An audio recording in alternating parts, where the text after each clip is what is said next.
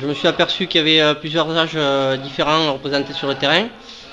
Comment ça se fait? Est-ce que c'est ouvert à tout le monde euh, Disons que là, on essaie d'intégrer les, moins de 18 ans, la génération des moins de 18 ans, puisqu'après ils, en- enchaînent sur la, période senior. Donc c'est une transition pour eux de, justement de, cohabiter avec les seniors, les, gens d'un âge plus mûr comme ça. quand ils arrivent à senior, ils sont, déjà prêts physiquement et mentalement. Ils sont intégrés.